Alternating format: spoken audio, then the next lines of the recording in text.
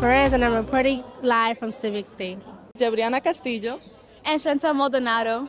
And we had an ordinance passed by the City Council. Our problem was burdensome traffic in Lawrence High School.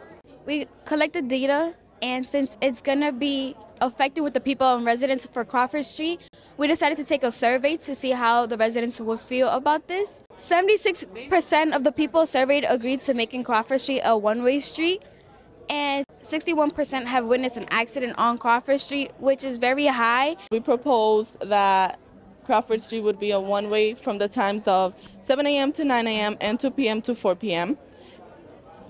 And this would begin mid-August and would end June 30th. For Crawford Street, it's only going to be a one-way coming down, and we're going to block the right lane, and it's only going to be a right turn only so that they could take a right onto Parish Road and exit out from there.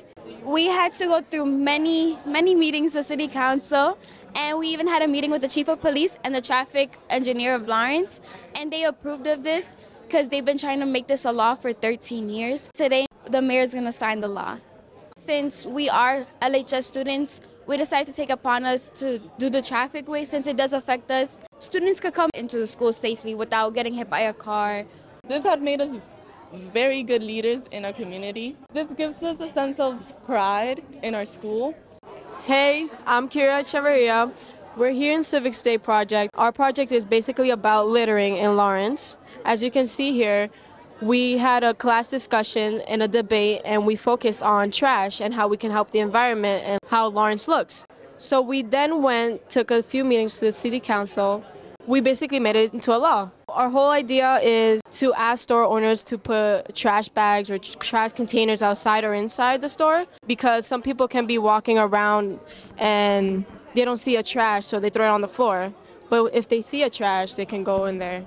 We actually have a survey here. Some people said yes to contributing and to helping the environment. They will put a trash container. Hi, my name is Carmen Melendez, and it feels really good to make an impact in the community. As a team, you you create a lot of ideas and you help the community become better. Because I am a part of the community, so I want to be like like make it better. Good morning, my name is Angelica Castillo and I am a junior at Lawrence High School Upper School Academy. My issue is period poverty. Period poverty is the lack of access to period products and the education needed to use them effectively. And the reason why I decided to do or choose this issue is because I saw period products dispensers, but they were empty. So I thought to myself, why don't we have this in every single bathroom and why aren't they they're full? My first approach to this issue was making a Google form to gather data on the issue on my school. 85.7% of students have to lose class time because they don't have period products and they need to go to the nurse or somewhere else to find period products. 64.3% of students said that they have gone on a full day with the same pattern tampon because they didn't have an extra one to change it. And as I found outside research is that not changing pads every six to eight hours can make you more prone to having infections. One of my first things that I did as action plan was contacting Free Period, a nonprofit organization whose main purpose is to provide menstrual products to, to people in need.